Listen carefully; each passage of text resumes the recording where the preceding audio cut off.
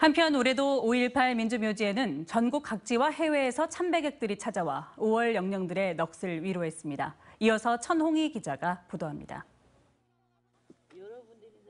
1980년 5월 집을 나가 아직까지 행방을 찾지 못하고 있는 양동초등학교 1학년 이창현 군의 어머니가 묘지를 찾았습니다.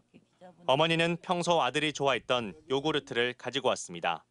먹고 싶은 것도 못 사줬는데 내 목숨을 바쳐서라도 팔아서라도 해주고 싶다.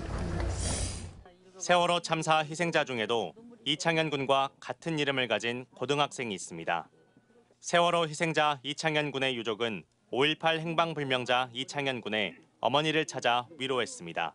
같은 이름의 아이가 행방, 행방불명 됐다는 거 알고 그 뒤로 이제 너무 마음이 아프고 같은 이름이어서 찾아보게 됐고 유족과 추모객들은 국립5.18 민주묘지를 참배하며 5월 영령들의 넋을 기렸습니다.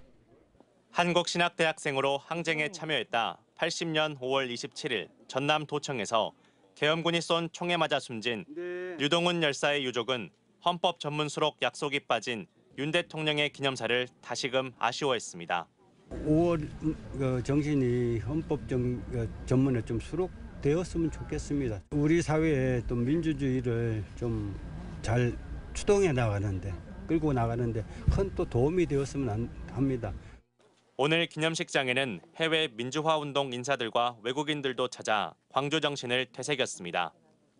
캄보디아에서 온 외국인 노동자들은 윤상원 열사 묘비 앞에서 캄보디아어와 한국어로 임을 위한 행진곡을 두 차례 불렀습니다. 지금 우리도 우리나라에서 이렇게 민주화를 되고 싶어서 지금 열심히 한국 역사에 따라서 하고 있어요. 한편 오늘 기념식장에는 헌혈 여고생 고 박금희 양을 조명하면서 다른 희생자인 고 박현숙 양의 사진을 잘못 사용했는데 국가보훈부는 제작 과정에서 착오가 있었다며 유가족에게 사과했습니다.